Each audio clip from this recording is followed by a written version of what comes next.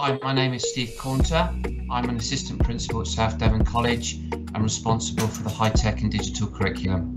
The High Tech and Digital Centre has been developed to deliver a curriculum that meets the specific needs of the local and regional high tech and digital industries and sectors moving forward from cutting edge facilities such as a modern manufacturing workshop, state of the art digital workshops and IT rooms, a 100 seater screening suite, and dedicated spaces for innovation and research and development for employer led project work.